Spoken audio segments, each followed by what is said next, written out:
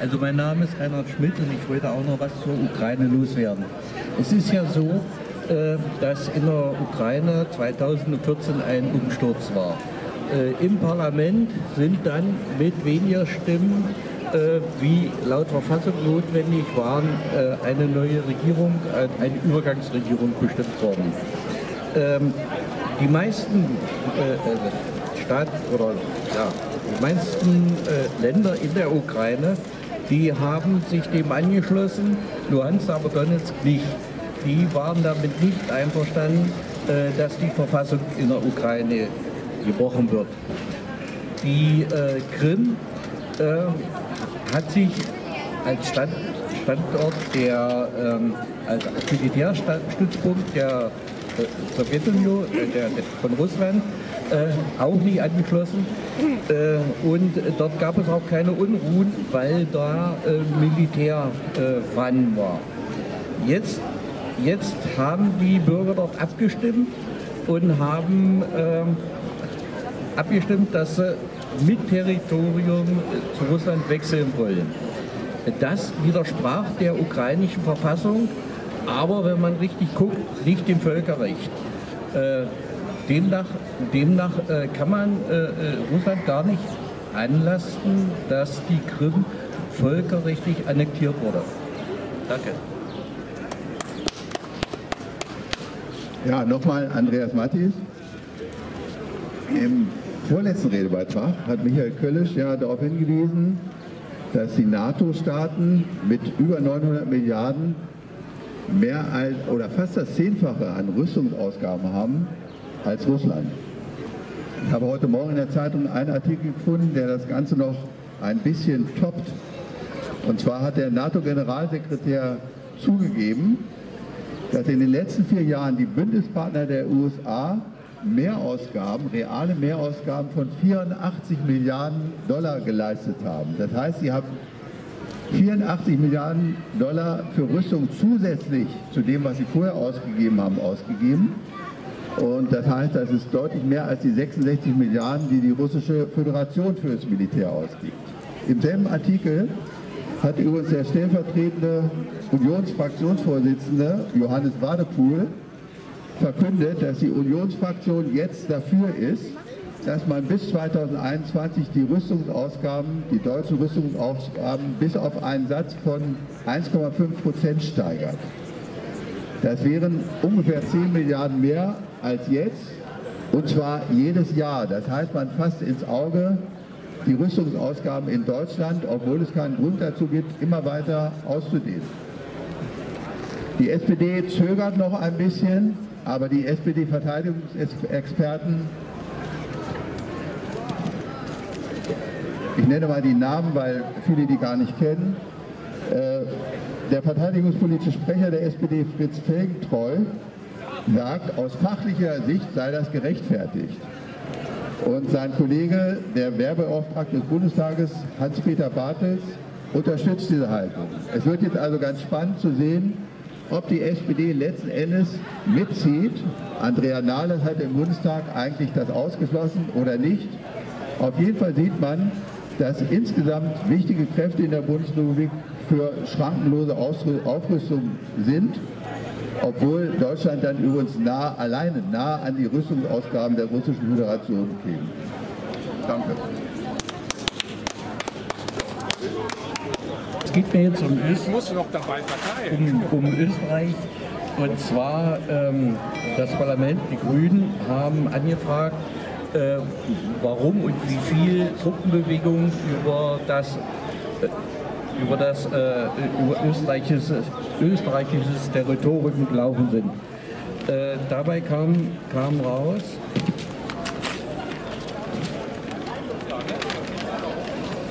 äh, dass 1310 Transporter von Militärpersonal und schwerem Gerät äh, sich über österreichisches Territorium bewegt haben. Insgesamt äh, zum, zum Manöver hatten die NATO-Staaten äh, 3200 Transporter abgewickelt und das, obwohl Österreich neutral ist. Und äh, es ist auch so, dass diese Transporte nicht wieder zurückverlegt wurden. es wird uns immer erzählt, da wird mit dem Militärpersonal rotiert, aber im Grunde genommen wird materiell aufgerüstet. Und mit diesem neuen Manöver Sabberstreik wird geübt, dass ähm, Kaliningrad äh, im Grunde genommen abgeschnitten, abgesäbelt und, und eingenommen werden soll. Dazu sind zwei Landarmeen und eine maritime Armee äh, jetzt im Moment im Einsatz.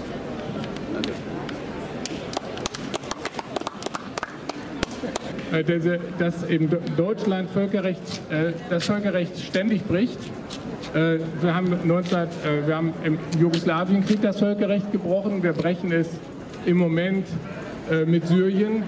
Und wir lassen die, Amer die Amerikaner, lassen zu, dass die Amerikaner von deutschem Boden aus Völkerrecht brechen, indem sie mit den Drohnen morden. Also von daher ist das eine Riesenschweinerei und von daher hat, äh, ist das völlig überzogen, wenn wir jetzt sagen, wir sind besser als die Russen. Wir sind nicht besser als die Russen, wir sind eher schlechter als die Russen. Gell? Also wir sind natürlich mächtiger, also wir sind, beziehungsweise wir sind mit unserem großen Bruder mächtiger als die Russen, viel mächtiger als die Russen. Und deswegen können wir uns mehr rausnehmen. Die Russen können sich nicht so viel rausnehmen. Aber äh, es ist jedenfalls mit moralischen Kategorien ist das nicht zu beurteilen. Deswegen, äh, gut, das, da müsste man halt, wir brauchen eben eine, eine Politik wieder von Willy Brandt. Der Willy Brandt hatte seinerzeit gesagt, gemeinsame Sicherheit. Es muss, du, der, man muss mit, immer die Sicherheit des Gegners auch mit einkalkulieren. Man muss auch an die denken und den fragen, was er denn für seine Sicherheit braucht. Und äh, dann wird, er schon einiges, wird dem schon einiges einfallen dazu. Und äh, wir haben ja deswegen die, die Organisation für Sicherheit und, äh, und, äh, und E, OSZE, äh, also Sicherheit in, in Europa, äh, die genau das machte. Die war ja ein Ergebnis langer Verhandlungen. Das waren die ganzen europäischen Staaten haben verhandelt und haben sich auf diesen Text geeinigt. Und äh, dieser Text ist natürlich weiterentwicklungsfähig.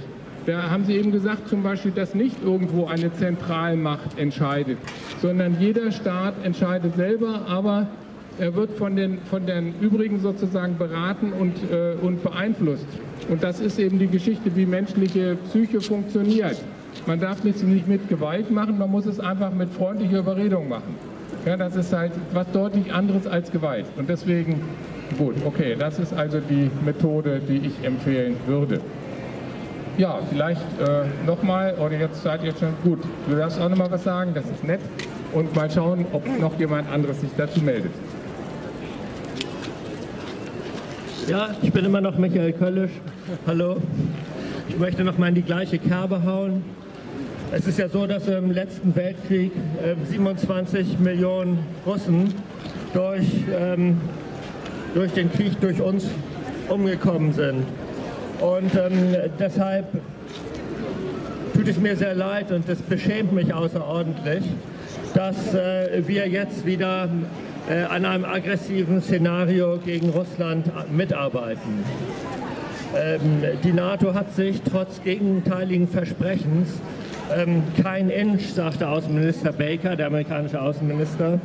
Kein Inch weiter wollte die NATO sich nach Osten ausdrehen, ausdehnen.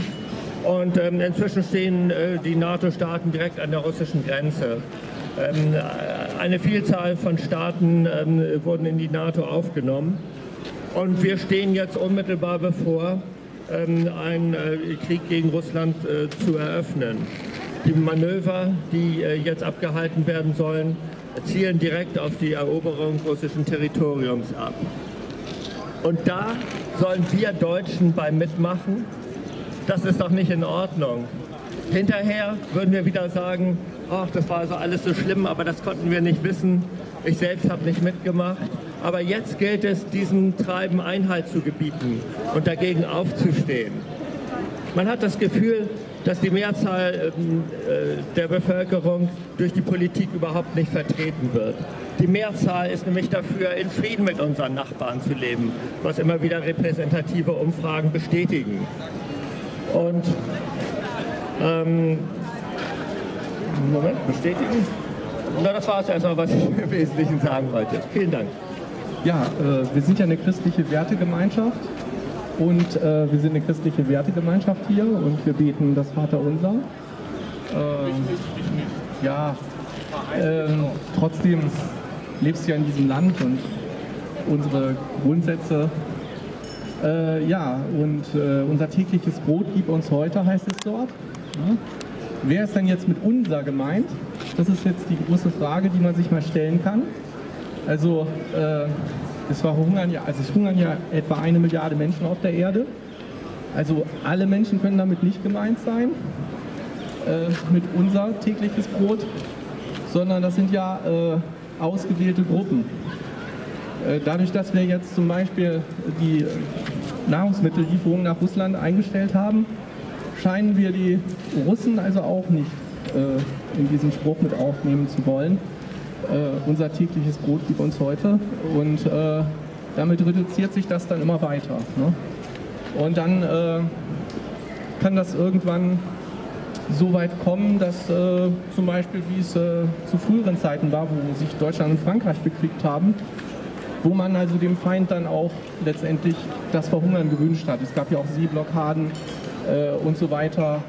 Äh, ja, da muss man auch mal drüber nachdenken, ne, was hier so abgeht. Und es reichen von diesen riesigen Rüstungsausgaben, die wir haben, die die Vorredner auch erwähnt haben, reichen äh, 23 Milliarden aus, um alle Menschen, äh, also den Hunger aller Menschen zu stillen und allen Kindern äh, eine Schulbildung zu ermöglichen, weltweit.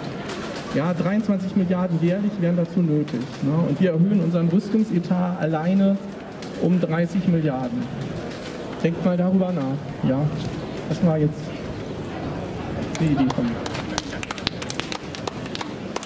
Und ich wollte noch mal was zu äh, Skripal sagen, zu dem Fall Skripal. Bei Anne Will ging es um die äh, Fußball... Bei Anne Will ging es um die Fußballweltmeisterschaft und äh, da hatte Gregor Gysi gesagt, dass bei äh, Skripal äh, keine, keine Anzeichen dafür da sind, ähm, dass, jetzt müssen wir mal gucken, dass es keine Beweise gäbe gegen Russland, äh, dass die an dieser Vergiftung von Skripal beteiligt waren. Und ähm, im Faktencheck wurde das bestätigt. Es gibt also keine Beweise, dass Russland hinter die äh, Vergiftung äh, der beiden Skripals stecken könnte. Sogar das Militärlabor Portaun konnte nicht feststellen, woher das verwendete Gift stammt. Und der BND-Chef äh, Gerhard Schiller hält die Belege, die der Bundesregierung vorliegen, für nicht so robust. Laut Medienberichten waren zahlreiche westliche Länder schon seit vielen Jahren im Besitz kleiner Proben des Kampfstoffes und somit zählt eine Vielzahl von Geheimdiensten auch zu den möglichen Tätern.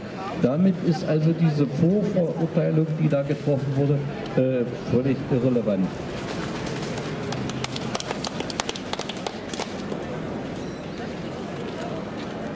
So, ich wollte noch mal ein bisschen was sagen zu, ich habe ja vorhin gesprochen von den Völkerrechtsverbrechen von Deutschland. Von äh, Deutschland, das eben unauffällig, scheinbar keine Völkerrechtsverbrechen, aber es, es äh, begeht eben doch Völkerrechtsverbrechen. Und äh, das ist eben, sie tut es nur unauffällig, sie tut es freundlicher, aber, ja, und sie stellen sich dann über Russland, dabei sind sie moralisch bei weitem nicht über Russland. Also von daher ist das eine ziemliche Katastrophe. Aber äh, ich will noch mal auf andere Völkerrechtsverbrechen eingehen, von Trump zum Beispiel. Trump ist natürlich allgemein bekannt, hallo Angela. Trump ist allgemein bekannt für seine, Völk äh, für seine äh, Schweinereien. Er hatte jetzt gerade das Paris-Abkommen, die Klimageschichte hat er gekündigt. Ähm, er hat das Iran-Abkommen gekündigt, das Iran-Abkommen, das eine schwierige Sache war. Man hat die Iraner davon abhalten wollen, eine Atomwaffen zu entwickeln und äh, hat das auch geschafft. Äh, zumindest, äh, ja, wie jetzt gestern in der Zeitung stand oder vorgestern äh, bei einem Artikel von einem Israeli oder einem, einem, Jüdi, einem jüdischen Journalisten, glaube ich, der sagte, äh, sie, sie, fürchten eigentlich, dass Iran sich daran hält und nicht, dass Iran das Völkerrechts, äh, das äh, das, äh, denn in 10 bis 20 Jahren hätten sie dann die Atomwaffe. Ja, man, in 10 bis 20 Jahren, wir haben jetzt gerade einen, einen UN-Beschluss, dass wir alle Atomwaffen abschaffen wollen, dass die Atomwaffen verboten werden sollen. Das hat ein Mehrheits ein Mehrheitsbeschluss, zwei Drittel Mehrheit in, in der UN beschlossen. Also von daher ist das eine, eine, das ist eine Riesenchance. Und da müssen wir jetzt drauf auf diesen Zug. Und wir, wir, dürfen uns als Deutsche da nicht raushalten, sondern wir müssen sagen, jawohl, das ist eine richtige Sache, das ist eine gute Sache. Man muss in diesen Weg gehen. Und dann kann man natürlich auch die kleinen Länder, die Angst haben, die sich sagen, wir brauchen Atomwaffen, so wie Nordkorea. Wir brauchen Atomwaffen, damit wir nicht überfallen werden, damit wir nicht wie Libyen äh, niedergemacht werden und dann äh, unsere Präsidenten ermordet werden. Ja, deswegen brauchen wir äh, da, das, äh, also okay, das ist eine Geschichte, die äh, ich mit Trump sozusagen, ach gucke mal, Mutter schieben, hallo. Äh, ja, also der, ähm, ach so, du kannst auch, aber kannst du ein bisschen ab, abwärmen, noch ein bisschen aufwärmen. Okay, okay, gut, äh, ja, gut. Äh, und äh, dann die andere, aber jetzt Netanyahu ist natürlich auch ein Beispiel. Netanyahu hat Atomwaffen, äh, äh, äh, illegal sozusagen, hat, hat die Atomwaffen. Es sagt nicht, dass es Atomwaffen hat, aber es ist bekannt, dass es sie hat. 200 bis 300 Atomwaffen von U-Booten aus können die mit Marschflugkörpern in die Ziele gelenkt werden. Das ist natürlich eine, das ist auch ein Riesending. Andererseits mordet gerade äh, Netanyahu oder die israelische Regierung eifrig äh, Palästinenser, die einfach an einen Zaun gehen die an den Gaza-Zaun gehen und sich beschweren darüber, dass dieser Gaza-Zaun existiert. Und sie erschießen sie nicht etwa, wenn sie über den Zaun drüber klettern, sondern sie erschießen sie auch 1000 Meter weiter im Land. Und das ist ja ein winziges Land, dieses Gaza. Also von daher, dass jetzt gerade letzte Woche hatten sie ja gerade eine junge, äh, äh, junge Dame ermordet, die sich um einen, um einen älteren, älteren Herrn gekümmert hatte. Dabei traf sie dann ein Schuss und sie starb. Ähm, also das sind eine hübsche junge Frau. Also von daher ist es eine Riesenkatastrophe. Jetzt sind 129 Leute, glaube ich, schon ermordet worden an dieser Grenze. Und Deutschland hält sich da zwar ein bisschen zurück, aber es, es verurteilt das nicht offensichtlich. Es verurteilt es nicht. Und das ist eben, das ist diese Doppelstandards. Gell? Bei den Russen würde sowas ein wahnsinniges Geschrei hervorrufen, aber bei den Israelis, da ist das plötzlich ganz akzeptabel. Also von daher, ja, und ja, und Erdogan ist natürlich auch so einer, der halt gerne das Völkerrecht spricht. Er macht es mit Syrien, indem er das attackiert. Gell? Aber, äh, und er will natürlich auch, er hat große Pläne, also die AKP äh, gibt wilde Pläne, dass wir sozusagen Teile von Russland kassieren wollen und, und, und. Also äh, habe ich da wilde Sachen gehört.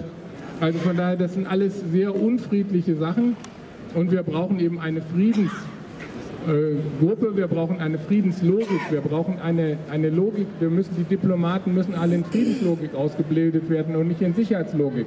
Müssen Sie mal bei Margret Birkenbach sozusagen in die Schule gehen, ja, das wäre da eine gute Sache. Okay, das war erstmal meine heiligen Worte. Ja, sehr schön, gut, mal wieder. Guten Morgen, liebe Mitbürgerinnen und Mitbürger. Mein Name ist Brigitte Konstein-Gülde. Heute haben wir kein Hiroshima-Wetter, sonst habe ich ja immer meine Hiroshima-Rede im Kopf, heute mal nicht. Ich habe hier jetzt schon fast eine Dreiviertelstunde Flyer verteilt. Das ist bei diesem Wetter richtig Arbeit. Und ich spreche jeden an und sage, möchten Sie eine Information für den Frieden? Und ich bin ganz erstaunt, wie viele Menschen Nein sagen. Es geht hier nur um Frieden, um keine Partei, um gar nichts, nur um Frieden. Und viele sagen Nein. Und heute Morgen habe ich eine Sendung im Radio gehört. Ich weiß gar nicht, was das war. Jedenfalls äh, ging es natürlich um Einzelpersonen und erstmal um Dankbarkeit. Und ich gehöre einer Organisation an, da schreiben wir eine Dankbarkeitsliste. Als ich die bekam vor vielen Jahren, habe ich gedacht, was soll ich damit? Mir ging es ganz schlecht, ich war arbeitslos, schwer krank, hatte ganz wenig Geld und von mir wurde verlangt, ich sollte mich bedanken. Na, ich sage Ihnen, da hätte ich sonst was gemacht. Aber es waren zwei Dinge vorgegeben, nämlich mich zu bedanken für warmes Wasser und dafür, dass die Heizung warm ist, per Knopf drehen fand ich erst abartig und da aber dann fiel mir meine Kindheit ein. Ich bin auf dem Lande groß geworden und da gab es nur Pumpsklo und Öfen und eiskaltes Wasser. Da waren die Wasserleitungen noch an den Außenwänden. So war das. Ja, und inzwischen drehe ich nur den Hahn auf und da kommt heißes Wasser raus. Muss ich aufpassen, dass ich mich nicht verbrühe. Und wenn ich abends nach Hause komme und es ist kalt, dann drehe ich auch nur am Rad. So. Und dann fielen mir ganz viele andere Dinge ein, für die ich mich bedanken kann. Nämlich, dass ich Arme und Hände habe, die ich bewegen kann, Füße, mit denen ich gehen kann, einen Mund zum Sprechen, Augen, mit denen ich sehen kann, ich hören. Das ist für uns alles selbstverständlich und es ist nicht selbstverständlich. Und das ist das, ich will darauf hinaus, dass wir jeder bei uns selber anfangen müssen, uns zu bedanken und mit uns selber Frieden schließen. Da bin ich gerade dabei, mit mir selber Frieden zu schließen. Ich bin nämlich der größte Kritiker und heute stehe ich hier mit geliehenem Hut. Ich habe keine Ahnung, wie ich aussehe, ist auch egal. Hauptsache, die Sonne ist nicht so oft im Kopf. So, das ist es.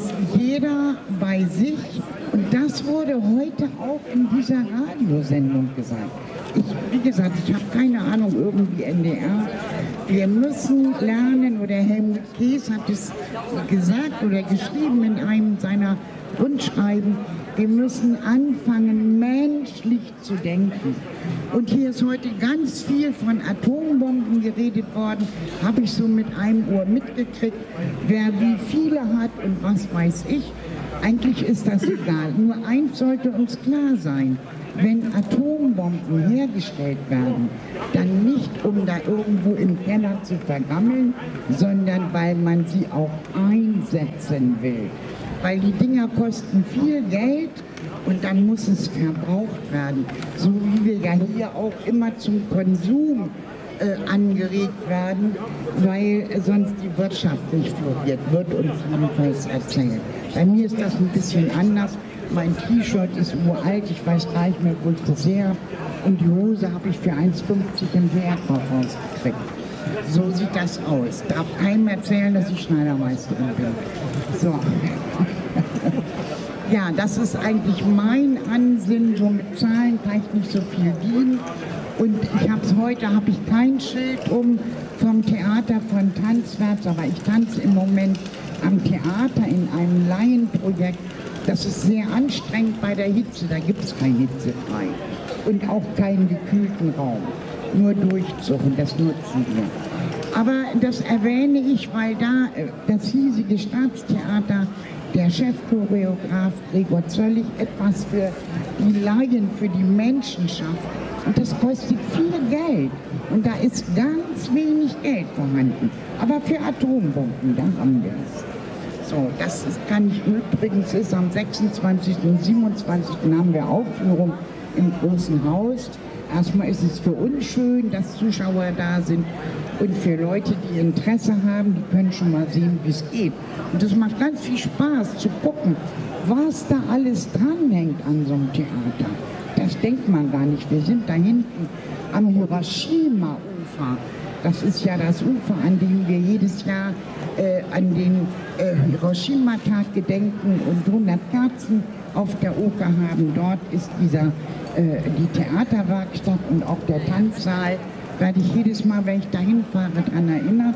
Ach ja, im August ist wieder soweit. Da stehst du da unten an der Oper und liest vor. Ja, wer also Interesse hat, sowas mal mitzumachen, der sollte sich hier an das Staatstheater wenden, an Julia Hohner, finden Sie im Internet. Und es macht so viel Spaß, die, die Tänzer zu kennen. Und auch wenn ich mir Tanzstücke angucke und ah, das ist die und das ist der und warum sind die nicht da? Ah ja, die sind krank und das ist ganz toll. Und ja, ich darf nichts verraten, aber ich darf so viel sagen, dieses Projekt geht von 8 bis 80. Und am Donnerstag haben wir zusammen mit den Kindern getanzt. Und das war ein ganz tolles Erlebnis, muss ich sagen. Ich selbst habe keine Kinder, bin ich innerhalb von wenigen Sekunden zur Mutter geworden oder zur Großmutter. Und auch mit Kindern aus anderen Kulturen. Das finde ich ganz wichtig. Diese Projekte verbinden die Menschen. Und das ist wichtig. Da reden wir nicht über Atombomben, muss man ja auch nicht immer. Wir müssen wissen, die gibt es und wir müssen wissen, die wollen wir nicht. Das müssen wir verhindern. Und jeder möge bei sich selbst anfangen. Ich auch. Immer wieder, jeden Tag. Ja, das war's. Dankeschön. Wenn es jetzt noch einen Nachfolger, eine Nachfolgerin gibt. Man fühlt sich von unseren Parteien nicht mehr wirklich repräsentiert. Wir wollen im Großen und Ganzen doch Frieden. Und wir müssen erleben, dass unsere Regierung doch auf einen Krieg oder zumindest die Vorbereitung eines Krieges hinzuarbeiten scheint. Erhöhung der Rüstungsausgaben und so weiter. Ähm, man kann das an verschiedenen Beispielen sehen. Sagen wir mal, man war in den 90er Jahren für den Frieden, wählte die Grünen. Was passierte? Deutschland griff die Bundesrepublik Jugoslawien an und überzog sie mit einem völkerrechtswidrigen Krieg. Oder man ist für Soziales, wählte die SPD. Was passierte? Deutschland eröffnete den größten Niedriglohnsektor Europas.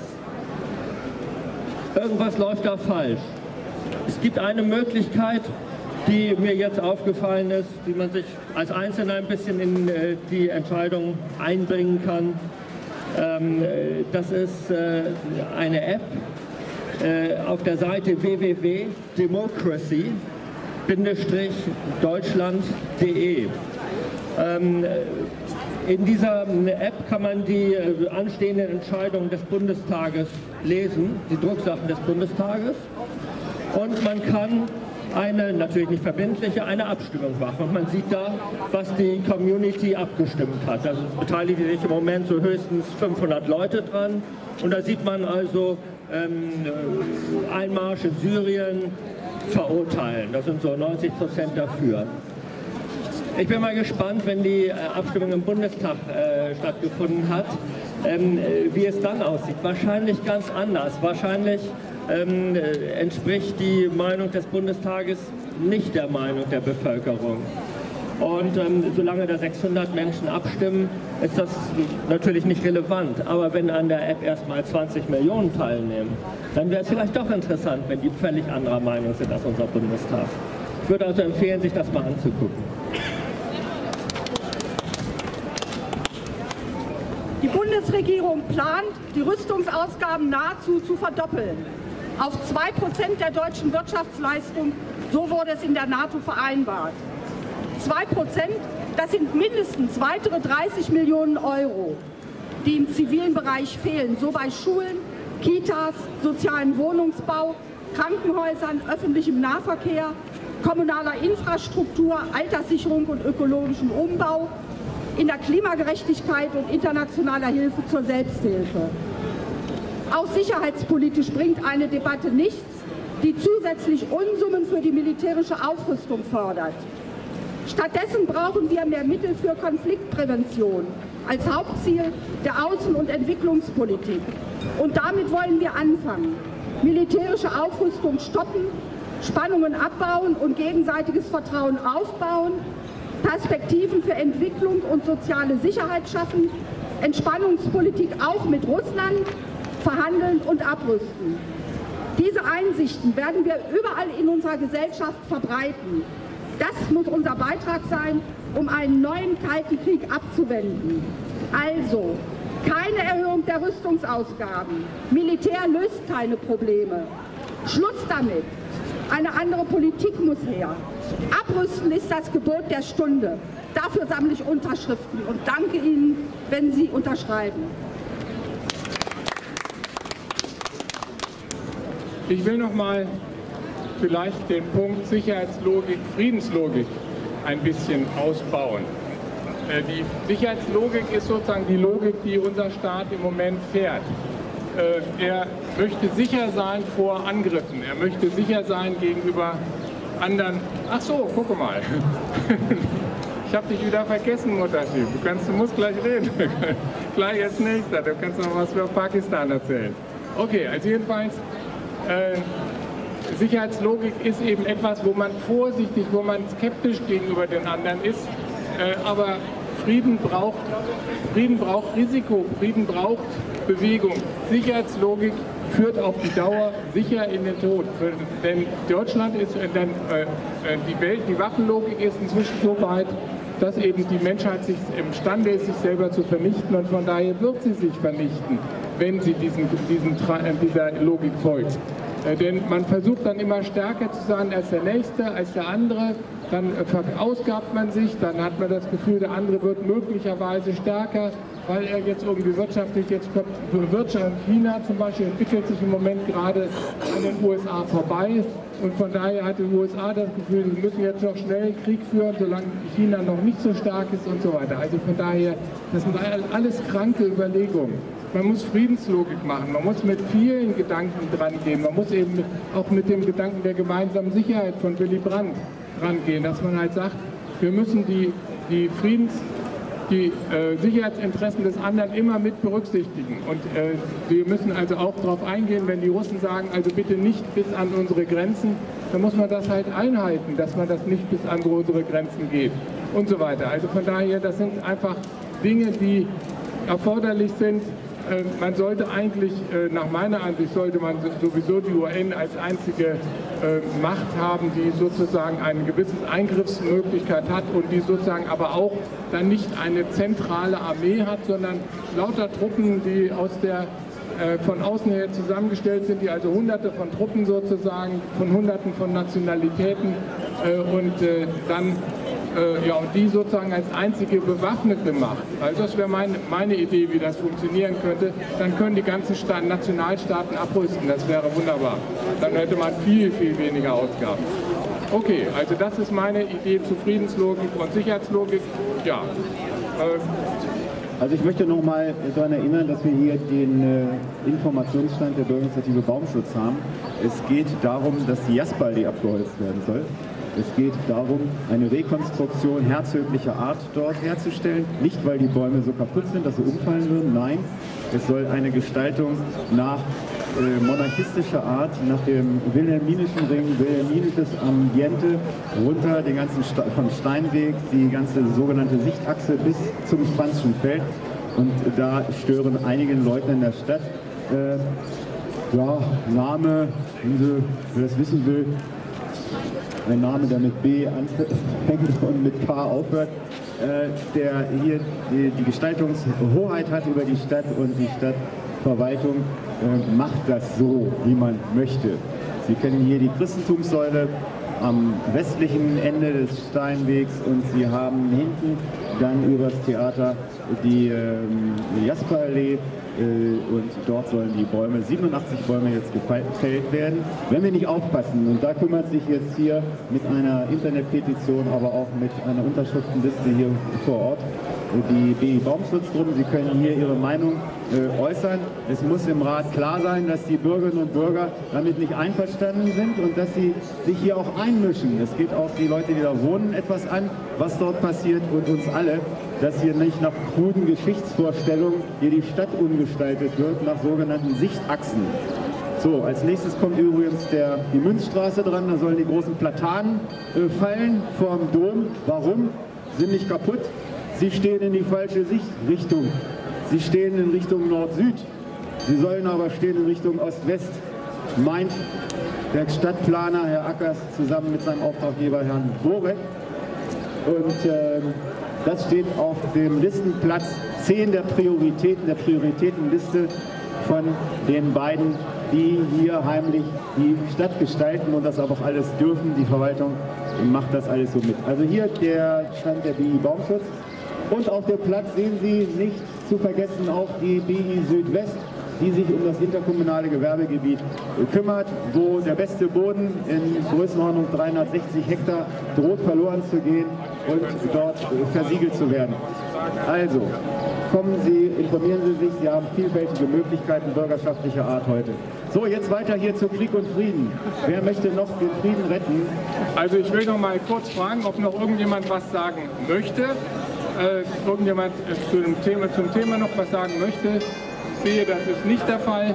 Gut, dann, äh, dann äh, schließe ich sozusagen für heute den, den, äh, die Kundgebung gegen den Krieg. Und äh, wir treffen uns wieder nächsten Samstag um 11 Uhr wieder an dieser Stelle. Und naja, und dann hoffentlich wieder in alter Kraft und alter Frische. Okay, danke, tschüss.